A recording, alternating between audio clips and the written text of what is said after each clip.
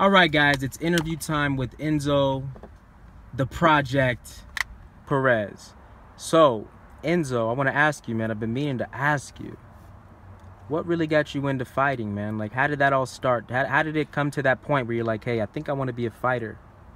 You know? Um, I'm tell you, I'll explain because everything connects. I've been fighting since I was six years old, so it's like we go way back. I'll tell you a little bit how I started and how that ended up being what I chose to do for a living. I was about five years old, and I always watched these Bruce Lee movies, uh, Chuck Norris, Jean Claude Van Damme. Like I watched all these videos, and I always wanted to be, be like them. I remember I had like VCR. Remember I had that. I would always record. I would always record. Um, what's it called? The fighting scenes of the movie. Like I really, I w- I wouldn't even care about the actual movie story. I would just watch. Out of all the martial art movies that you can think of back back in the day, like the classics, I would always watch the fighting scene, and I would like, I would get so into it. Like I remember. Uh, I would really practice. Like I've, I've always practiced. Uh, oh, like I saw Jean Claude Van Damme doing this kick, and I would I would do that kick. Like I'll be around my house. I was a good I was a good boy. I, guess you can say. So I was in the house until I was about six, seven years old, and I started playing in the street later. But before that, I was just be a like like that that house kid that, that that could never come out and play. So where I'm from, it's really dangerous. So like your parents try to protect you from being in the streets as much as possible. They try and hold you in till they can't no more. But then you just become like this little rebellious kid that they just can't hold in hold anymore. Like, oh, I'm about to go outside and play. We just play marbles. We wouldn't do anything like bad. It's just like it's just a bad neighborhood. Like I'm from not from like a necessarily uh, safe uh, environment, safe area. But anyways, uh, yeah, that's pretty much how I started. Uh, I joined a I joined I joined a boxing uh, a boxing school, and I went to my first boxing competition. I'm like I'm six years old at this point, and I remember uh, I guess uh, I fought. I don't remember this, but my, my mom tells me this. I guess I fought. I messed up my nose, so. Uh, yeah, I guess I had a, a, bloody nose or something like that. And then my mom took me out of boxing. She didn't like that. So then we tried training Taekwondo. I joined Taekwondo. I did it for about a week or two. I didn't like it. The class was too slow. It was just too slow for me. There wasn't any sparring. It, it was the fundamentals, what the coach was trying to teach. Not, nothing wrong with that, but I didn't understand that at the time because I got into martial arts for the wrong reasons. I wanted to fight like I'm, I'm I want I got into martial arts because I wanted to fight. I didn't get into it because of the positive aspect of it. Like what do you think the, the positive aspect of it is? The positive aspect of martial art is uh it builds character. It prepares you for anything that life throws at you. Because uh, there's nothing more pure. I feel like that hand-to-hand combat, one human against another human. I feel like there's no no more like no experience that's more pure than that. Like that's that's just as primal. That's the word I should say. That's just as primal as as it gets. Like that's something that like before we had any reasoning that's something that we were doing like we were fighting do you get some type of thrill from that you know going out there and competing how do you how do you how do you describe that feeling of when you're about to compete when you're about to go um, out there into the ring when i at first right before i was gonna compete i was really nervous because i was like I, I wasn't confident enough I, I just didn't know it. I just wasn't not confident. I wasn't experienced enough to know what the outcome might be. So the fact that I didn't know, like, all right, I'm either gonna lose or I'm either going to uh, win. Like I didn't know that it came down to that back then. That I didn't have to stress. I've had so many experiences in combat now that now when I approach it, I'm like, all right, there's only two things that are gonna that are gonna happen here. I'm either gonna win or I'm either gonna lose, and I'm gonna have have to go back to the gym and learn. I'm not being pessimist. I'm being a uh, I'm being a realist. You know, that's that's the only outcome. So thinking about it that way, I get to relax a lot more and actually focus on my technique on my game. I don't worry about oh what what if i lose? Like oh what if i win? Like oh like what's gonna happen? No i worry more about all right this is what i've been training so i'm gonna i'm gonna focus on this. I'm gonna try and do this because it's what i've been training. I know I, I know how my body's gonna react when i want to do mm. this so this is what i'm gonna try to do. So that's how i that's how i approach fighting now. Like i don't even think about it as a fight. I think about it like just like a chess game uh, jiu-jitsu actually helped me with that. Before i before i focused in, in jiu-jitsu i was i was still like just had like like that animal mindset like oh i just want to go out there and hurt people. Like now i'm like i'm thinking more like now i'm actually i'm analyzing i'm i'm, I'm planning and i'm following the strategy and i feel like that's what's gonna make me a, a world champion. I truly believe that. That's is that what you think separates me. people apart apart from being a regular? Yes and a professional? What definitely. would you call that like uh setting your moves up like Um, You know, no, I call it I call it the ability to stay calm during chaos. The ability, because it gives you that like that extra half a second, and you can just see like what's coming. You know, you can go into like autopilot mode where you're just like reacting. You're just doing muscle memory, but it says right there, I'm using muscle. I'm not using my mind. Or I can actually be thinking. I can actually be moving. I can actually be using angles. I can actually be uh, focusing on my technique. Like instead of just reacting to instinct, like I feel like that's that's that's what can get you in trouble. Oh my god. That's what's gonna get you in trouble. But um yeah. Sorry, I got distracted. Saw a really a dog that I really like. His name's Mikey. but anyways, um yeah, and uh I feel like after high school, I wrestled in high school. See, I go it's it's, it's too much. So like um it's too much. But I wrestled back in high school and uh, I wanted to wrestle in college, go to the Olympics, and then I, wanted to do MMA after. So the goal, the ending goal, was always MMA. Um, I really didn't like the idea of uh, of being in college and not having money. As funny as that sounds, as funny as that sounds, I didn't like the I, did, I didn't like that idea. I know education should be first that's what they say anyways. Um, i feel like i'm also proving that that's not necessarily true that going to college even though it's the best it's one of the, it's one of the best options it's not the only way that you can succeed. And that's what they try to teach you at school. And i feel like they could do a better job if they like were more they were if they were more more more if they inform better. Because the way they say it at school is oh you go to college and you succeed or you don't go to college and you fail at life. That is not true you can still follow your passion you can still follow whatever it is that you do. Either it is fighting either it is music either it is art all these things that you don't people think like oh you're not gonna make it. Nah i feel like if you put the same amount of time and effort that you put into college into that i feel like you're gonna be just as successful. Why not? If the only thing that you need to complete a certain goal is effort discipline and hard work then does then does the objective really matter like think about that for a second. Okay i want to be a track runner.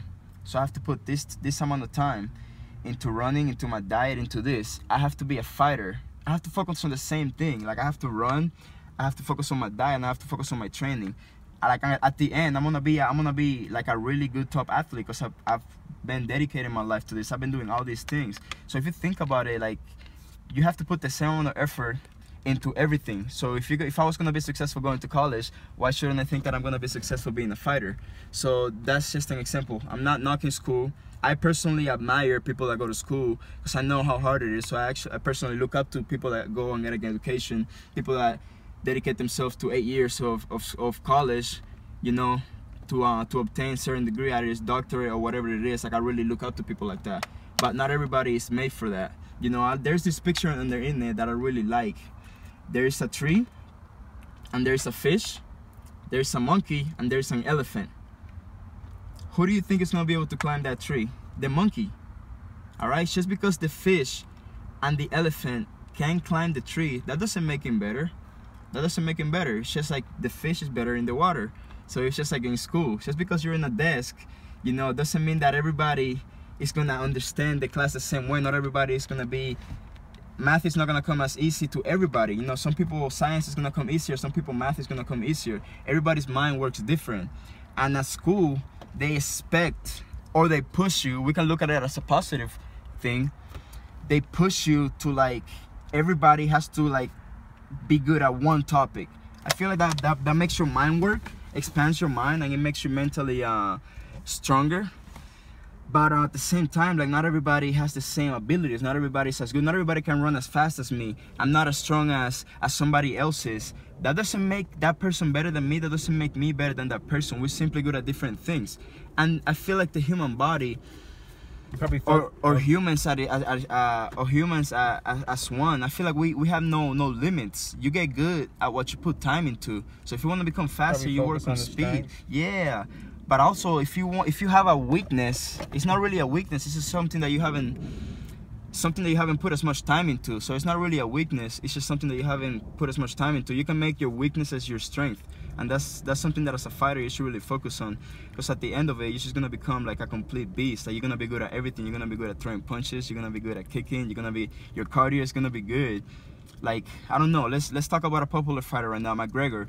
People say oh he's not a complete fighter because his cardio is not that good i don't look at it that way i look at it as he should go back to the gym and if he's putting two hours a week into cardio it's just an example he should be putting five hours like that's literally as easy as it is. That's all you have to do to like target your weaknesses and make them into a strength. Like if he's putting more time into cardio, he's gonna be better. You know, find out the skill that you're best at and give it 10% less effort and put that 10% into the skill that you're worse at. You know, that's gonna help you. You're still progressing in everything, but target the, the skill that you have to that you need the most the most work on so you can level it up with everything else and like i said the end outcome of that is becoming a best athlete uh, the best doctor the best bodybuilder like whatever the case might be so uh, i'm sorry but i got off topic. Talking about how i chose fighting into a career.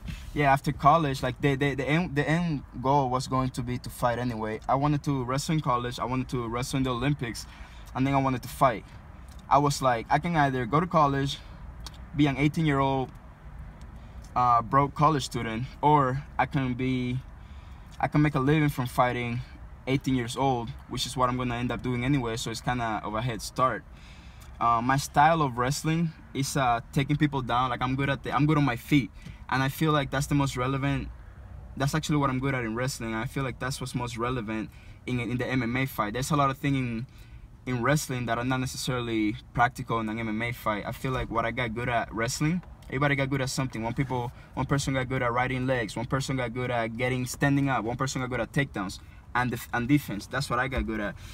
So I feel like that's what was was uh, most relevant when it comes to an MMA fight. You know, the the only one of the few things that you want to use from wrestling is the the takedown aspect of it uh, and the defense.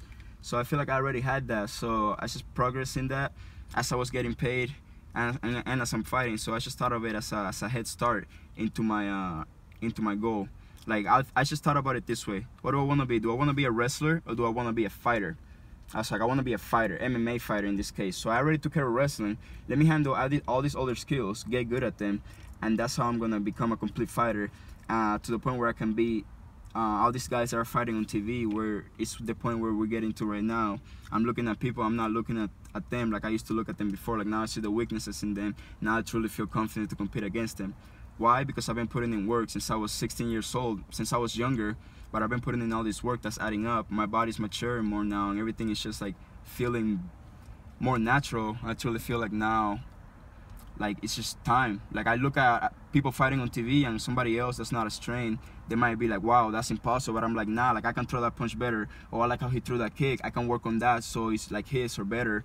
So it's just things like that but um yeah it's just the motivation uh from coming from a low income family low like i said i'm come from a really poor place really dangerous place and never really i've never really been like that comfortable economically. I haven't been bad but i've never really been that comfortable. And uh, i just want that it's just it's part of my motivation. Like money like money is not my only reason but realistically speaking it's one of the reasons. Like i want i want to give my like my mom a better life. I want to give my little brother a better life. I want to give my family back home my neighborhood. Like i would love to one day have enough money to where i come back to my neighborhood and like fix like the, the, the house down the street from my house that's like falling into pieces you know? I'm not ashamed to saying these things. Like i'm proud of it because it's where i come from.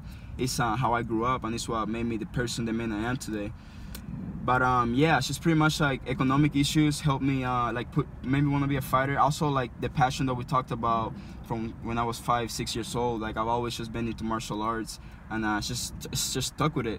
Like i just never stopped. Like normally like everybody when they're five six years old everybody tries karate everybody tries something then they quit. Then they go into football then they go into soccer. I just didn't stop. Like i joined karate when i was a little kid and i just never stopped. Just kept going never stopped and I started training okay. other martial arts and uh, that's good man. yeah.